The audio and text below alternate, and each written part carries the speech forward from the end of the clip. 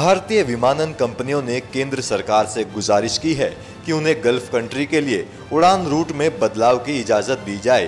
कंपनियों का कहना है कि वे पाकिस्तान के आसमान का इस्तेमाल नहीं करना चाहते।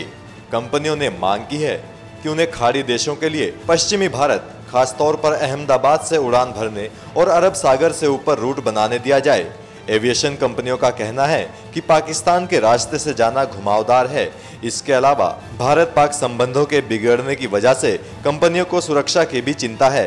Air India, jet Airways, Indigo और स्पाइस जेट जैसी कंपनियाँ पाकिस्तान के रूट से खाड़ी देशों के लिए उड़ानों को संचालित करती हैं।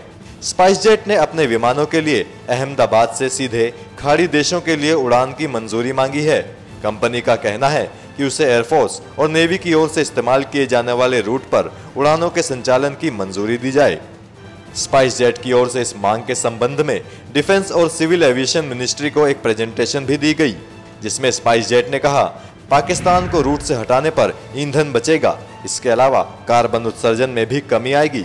कंपनी का कहना है कि यदि उसे अहमदाबाद दुबई रूट पर सीधे अरब सागर के ऊपर से उड़ान भरने की अनुमति दी जाए तो एक उड़ान पर एक लाख रुपए की बचत होगी। रक्षा मंत्रालय ने अब तक ऐसे किसी प्रस्ताव को मंजूरी नहीं दी है, क्योंकि इस रूट में कई संवेदनशील इलाके भी हैं।